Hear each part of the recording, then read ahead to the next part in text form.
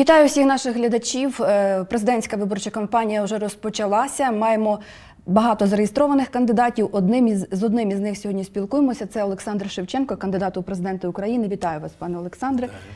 Е, Скажу вам, що Приємно, що непересічна. Е, так, дякую. Непересічна подія зареєструватися навіть уже кандидатом в президенти. Не з кожним це трапляється. Ви коли вийшли з центральної виборчої комісії, якісь емоції відчули? Чи це такий був буденний для вас процес? Ну, Я ніякі емоції не відчуваю в процесі боротьби. От коли будуть емоції, коли цей процес, як кажуть, закінчиться і ти виграєш ці вибори. Це є емоція. Зараз ну яка емоція? Це просто щоденна робота, і це служіння людям. Для мене, як кажуть, похід у владу не був чимось таким, яке невідомо що. Це приємно, що тобі надали, припустимо, представники партії Українське об'єднання патріотів Укроп, мандат довіри, підтримали.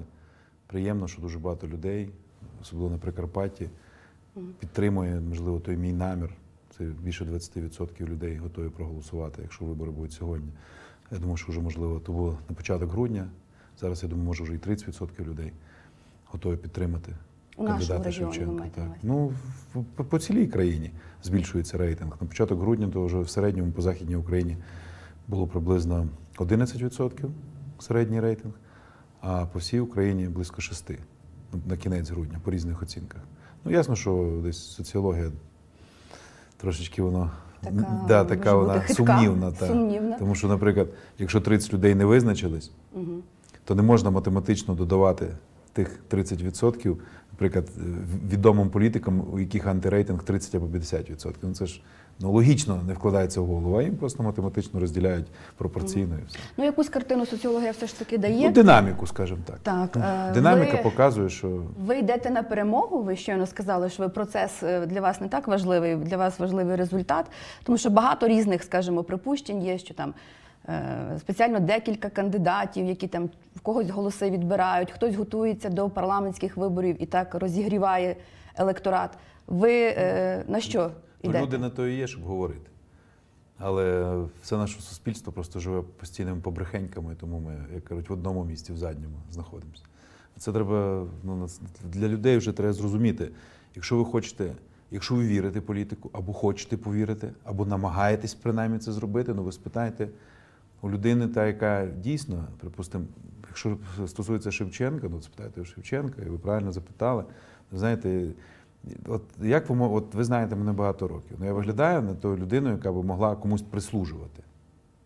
Мені здається, що я ні одного разу в своєму житті не показав, що я прислужувати готовий комусь. Я готовий служити людям, але я не готовий комусь прислужувати. Це стосовно, стосовно технічних кандидатів. Ну, знаєте, поганий той е, воїн, той, який в битві десь там відсиджується, не знаю, будь-де, не знаю, в якомусь там підвалі, а коли всі воюють. То так я воюю за те, щоб отримати максимум. Можливо, мої для багатьох людей виглядають наміри такими авантюристичними, але коли ми починали Буковель, також мало хто вірив і теж думали, що це нічого не буде, а поговорили, нічого не відбулося. Ну то що я повинен на це звертати увагу?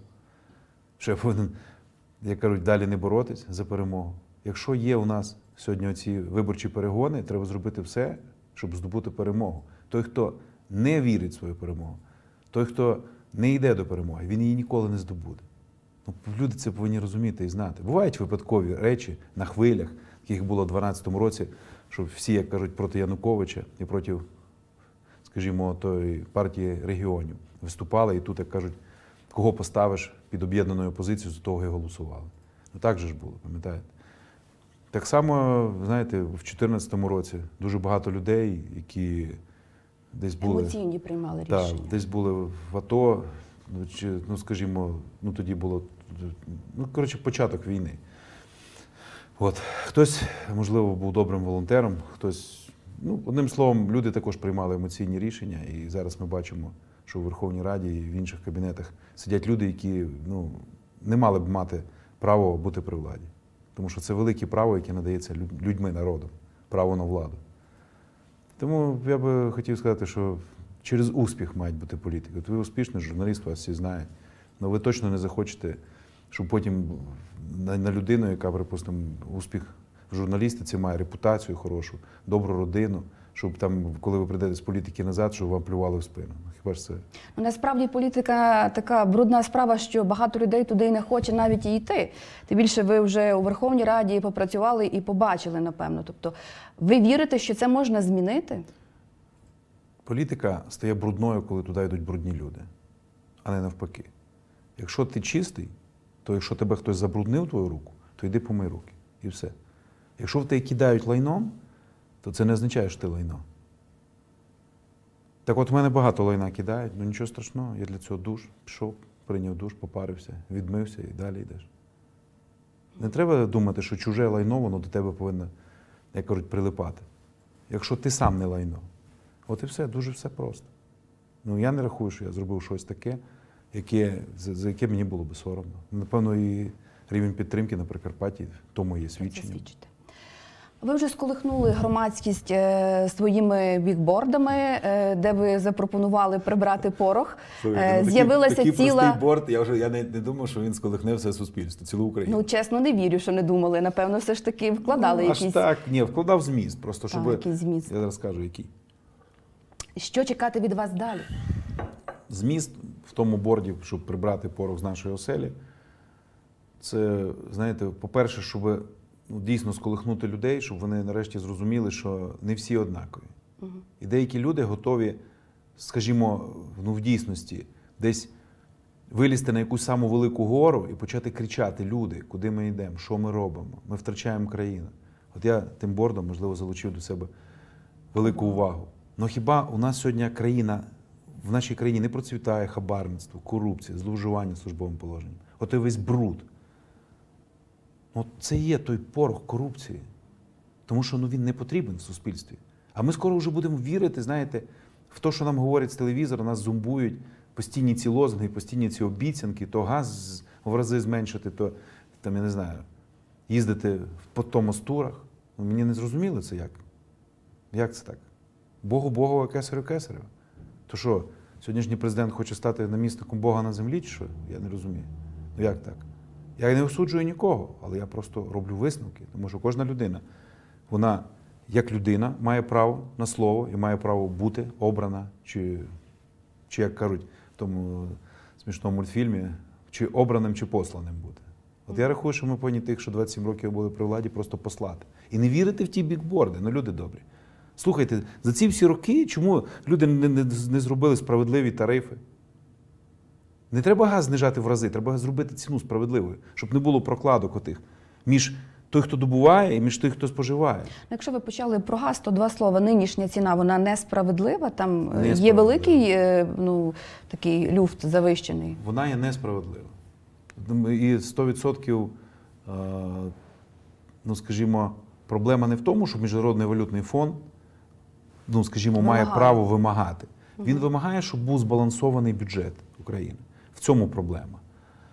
І питання, наприклад, вартості газу, якщо були б справедливі тарифи, не стояло би, але тільки при тій умові, якщо були б достойні заробітні плати.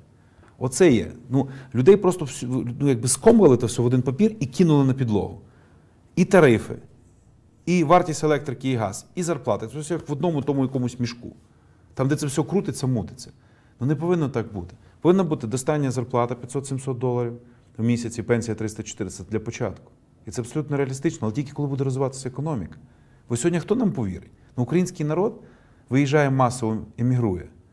Іноземні інвестори не хочуть інвестувати, бо бояться, що їх тут кинуть. Так само і українські інвестори бояться. Подивіться, що відбувається з Буковелем. Ну, постійно якісь фейки вкидаються. То забрали, то не забрали, то буде працювати, то не буде. Знаєте, ну в якій країні таке можливо цивілізовані? Якщо у когось є проблеми, як в Америці були, припустимо, в банківській системі чи в страховій системі, ну то в Америці ні один банк не закрили.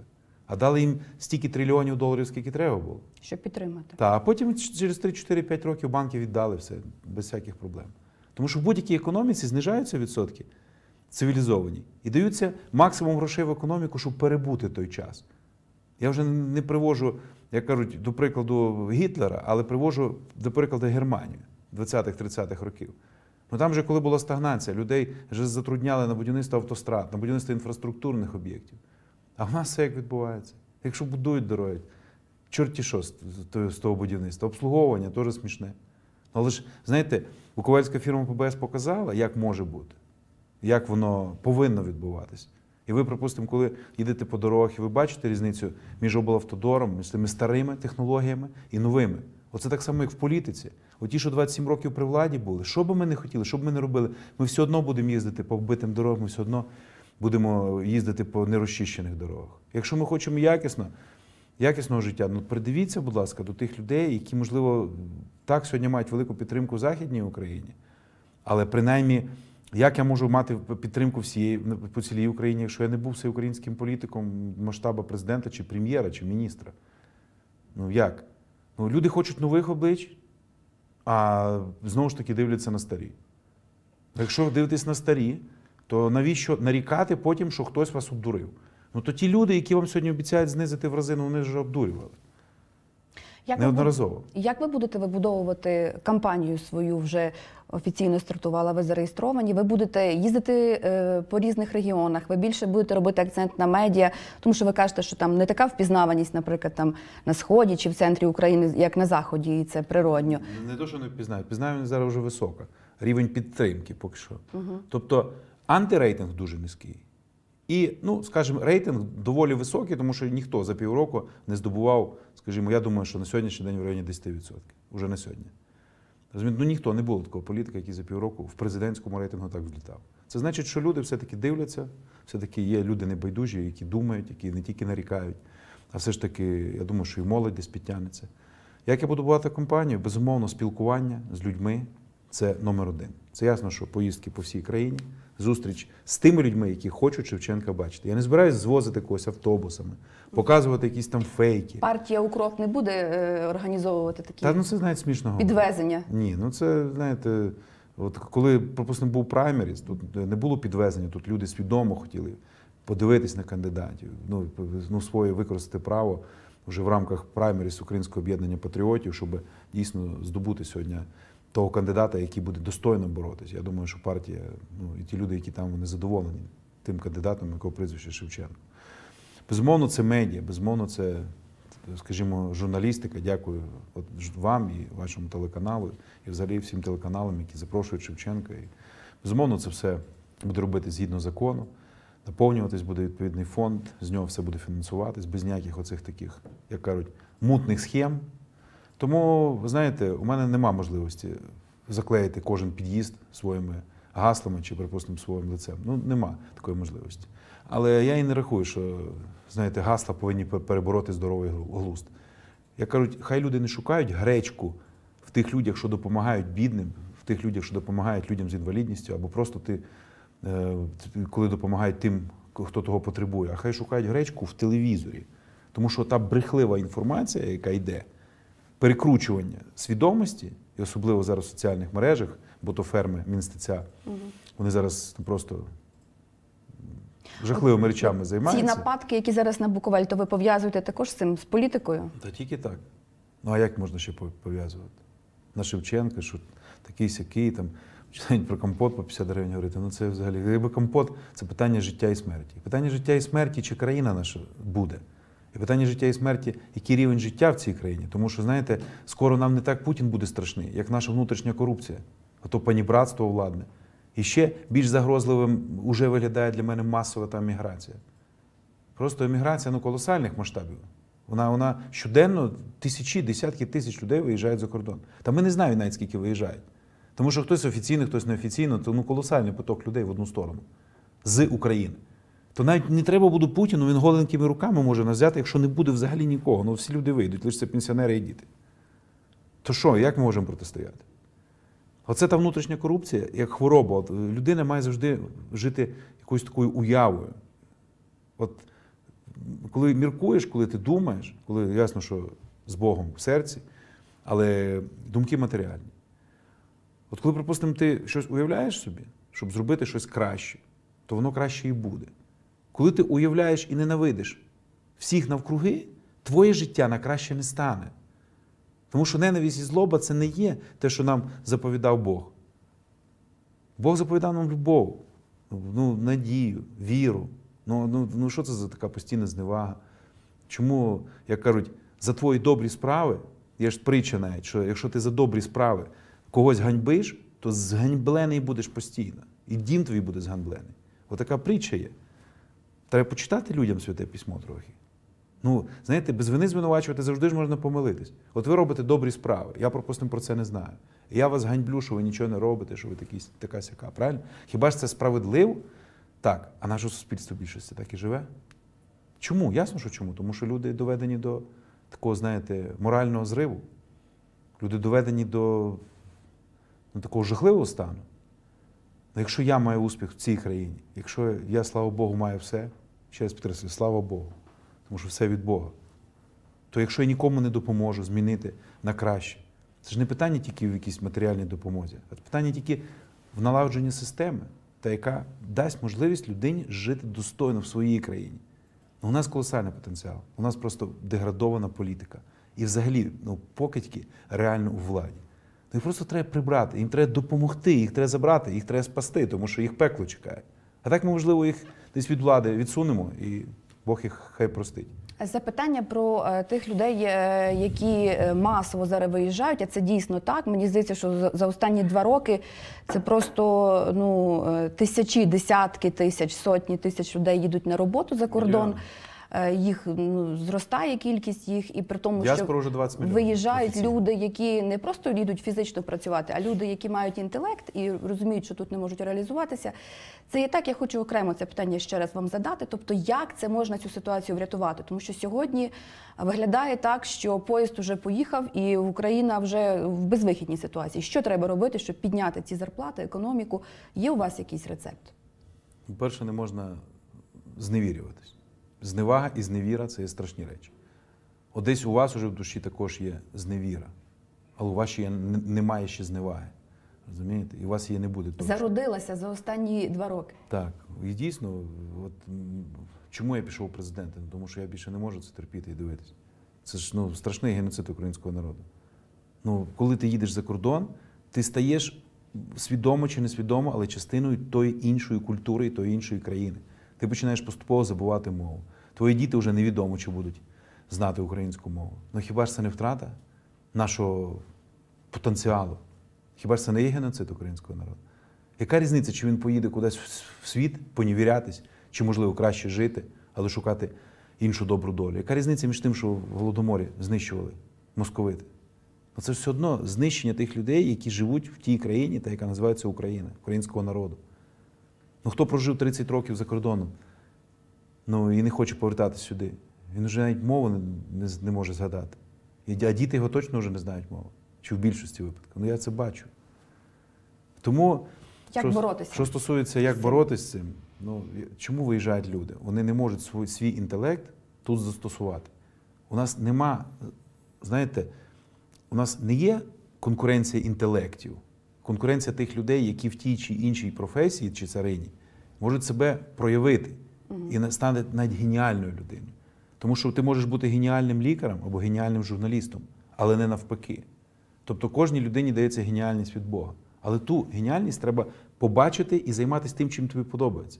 У нас нема можливості конкурувати інтелектом. Ти заходиш, даєш чиновнику хабаря і вирішуєш питання. І вже ні з ким не конкуруєш, тому що вирішується абсолютно неконкурентно. Те питання, яке повинно бути вирішено конкуренцією.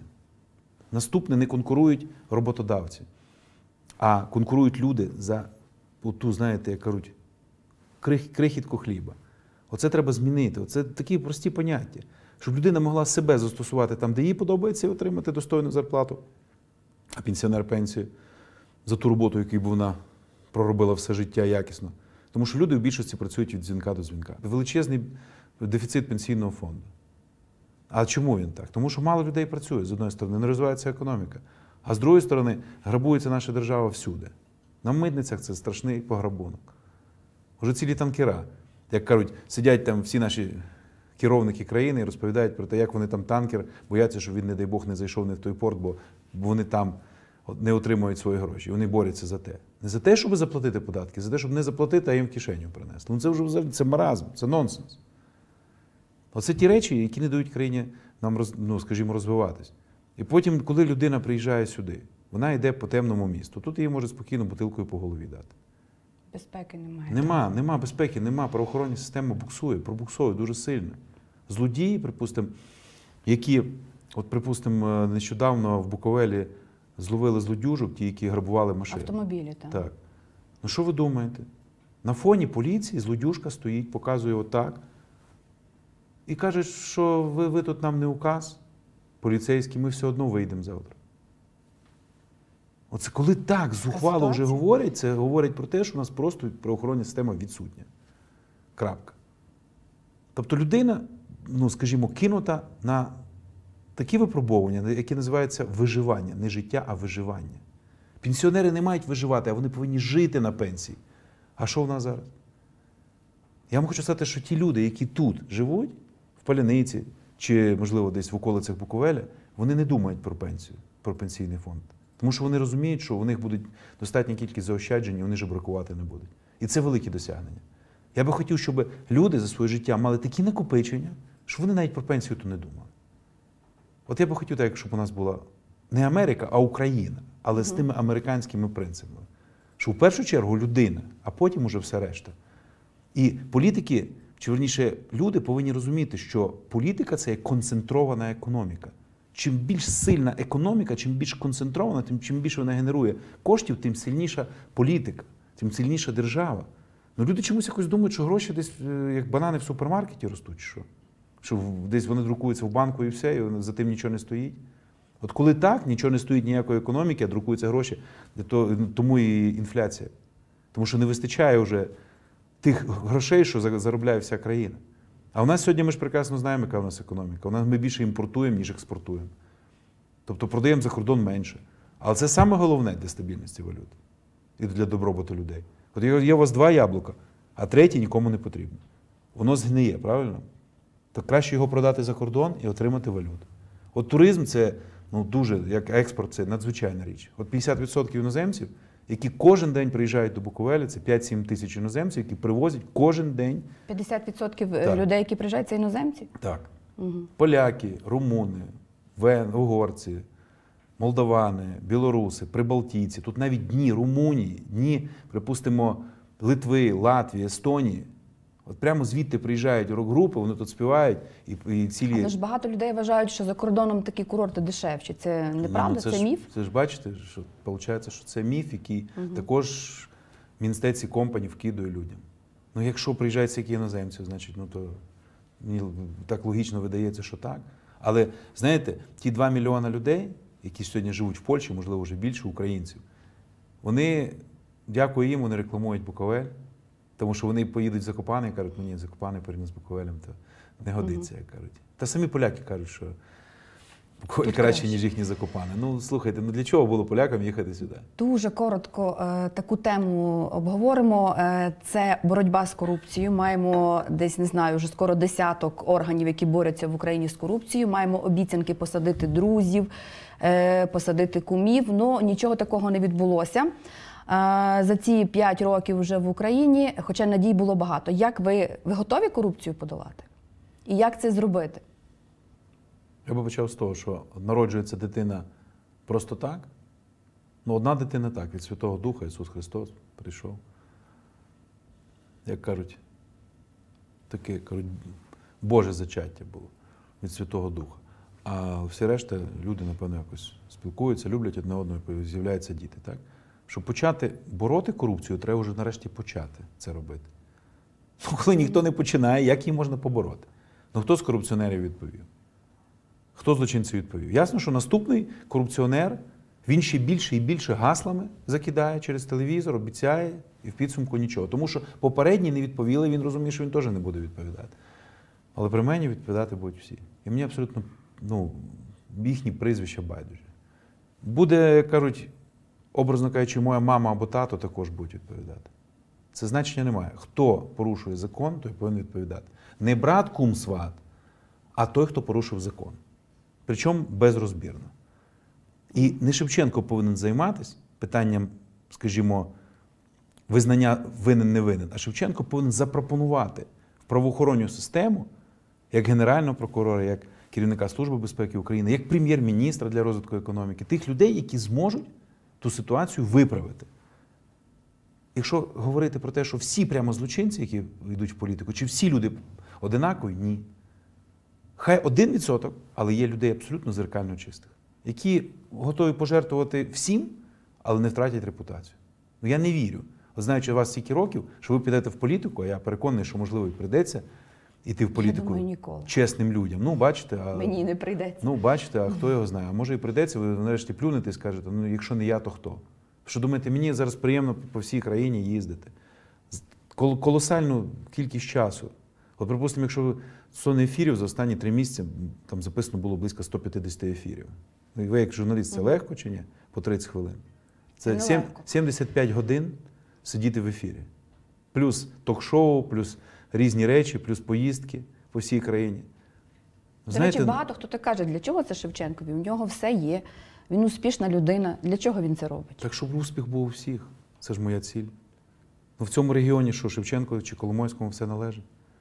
Ну тут же люди, більшості, більшість грошей заробляє не Буковель, а люди, ті, які мають свої готелі, тільки Поляниця має 5 тисяч ліжкомісць. Навіть я думаю, вже десь 6 тисяч. Уявляєте собі, як розвивається село? При тут, що громада всього на всього тисячу чоловік, коли ми прийшли, було 600. І десятки мільйонів бюджет цієї громади. Оце є зробити успішними громади і кожну людину, зокрема. Ну тут є успіх, ну це очевидно. Дайте можливість всій країні зробити такий успіх. Ну мені то точно не треба. Мені достатньо, як кажуть, генерації тих успіхів і в фінансовому, в тому числі плані від Буковеля. Я не збираюсь від нього відмовлятися, нікому це не обіцяв. Не можна займатися управлінням, не можна бути директором. А якщо в тебе є пасивний прибуток від будь-якого бізнесу чи від твоєї власності, це не є злочин, і це в будь-якій країні окей, це норма. Ну, я не вірю в політика, який нічого не має. Я маю на увазі на такого топовому рівні. Ну, я не вірю в чесного президента або чесного депутата, який в житті нічого не має. Ну я не вірю. Ну, як кажуть, ніхто мене в цьому не переконає, бо я бачу сам, як відбулося з 2014 року і до зараз. Прийшли в драних мештах. Зараз мешти по 5 тисяч доларів. Ті костюми вже, знаєте, ходять в таких подеколи, знаєте, військових костюмах, але вони теж такі Угу. fashion. Від Brioni. Да. Розумієте, ну це ж ну, ідіоту треба це не побачити. А людей обдурюють. Ну, Я ж то бачу кожен день. А Шевченком просто домовитись неможливо. І вони прекрасно розуміють, що, що світить кожному, якщо я прийду. І тому їм заважають. Безумовно заважають. А коли ви згадайте, коли е, я мандат довіри і право на владу отримав від франківців, хто сильно хотів зі мною співпрацювати з політичних сил чи лідерів? Всі тільки говорили, що він такий сякий, він такий самий, і він ніколи не здобуде, він з Коломини, з Франківська перемогу. Але той, хто не вірить в свою перемогу, хто не бореться, хто не йде до перемоги, він її ніколи не здобуває. Двічі мене люди в 2014 році обрали і надали мандат довіри. Ну, я не знаю, для Франківська, мені здається, я робив все, що міг. Можливо, недостатньо робив, можливо, погано робив. Я не знаю. Я не можу сам про себе говорити, хай люди скажуть. Але той рівень підтримки на Прикарпатті говорить, напевно, про інше. Власне, побачите, який рівень підтримки е, буде на Прикарпатті е, вже під час голосування на президентських виборах. Це Е, 30 секунд ми завершуємо. Ми почали з тих бікбордів, таких креативних. Чим будете, як будете креативити далі? Маєте ще якісь такі цікавинки у запасі на передвиборчу кампанію? Я буду говорити саме те, що я думаю. Ми, от я, наприклад, дуже не сприймаю якісь політтехнологічні речі, політтехнологів. Я сприймаю світ таким, як він є. Я живий політик. Я спілкуюся з людьми і розумію, що людям потрібно, і як, і, і як скажімо, ту мету здобути. Тобто не свою особисту, а все-таки мету зробити заможним суспільство. Тому на тих бікбордах в найближчий час, коли ми зараз відкриємо фонд і почнемо офіційну можливість фінансувати, ті всі меседжі, то я думаю, що ви їх побачите. Я думаю, що вони є креативними. Але знаєте, коли скажеш щось наперед, то вже не так сприймається. Коли ви побачите. Будемо е, чекати. В а коли, коли ви знаєте, промоніторите ситуацію, побачите, і потім підкажете, Олександр, а може би так ще зробити? Підказуйте, я відкритий. До речі, всім людям хочу сказати, що звертайтесь, пропонуйте, вдосконалюйте програму Шевченка, кажіть, які меседжі ви думаєте, що Шевченко мав би говорити. Я завжди прислуховуюсь, я завжди стараюсь відповісти. Останній час. Хочу перепросити, можливо, комусь не відповів на своїй сторінці, і в месенджері, і в приваті. Там, ну, і просто десь на сторінці, ну, об'єктивно, просто це такі, така кількість зараз стала. Ну, просто навіть не звернень про допомогу, а ну, просто добрих слів, десь привітань. Ну, їх просто вже десятки тисяч. Я вже не знаю. Мені вже то важко стає навіть прочитати. Тому, якщо десь комусь не відповів, то перепрошую. Дякую вам за розмову. Не маємо, на жаль, більше часу. Нагадую нашим глядачам, що ми спілкувалися із кандидатом у президенти України Олександром Шевченком. Спасибі всім, хто нас дивився. До зустрічі. На все добре.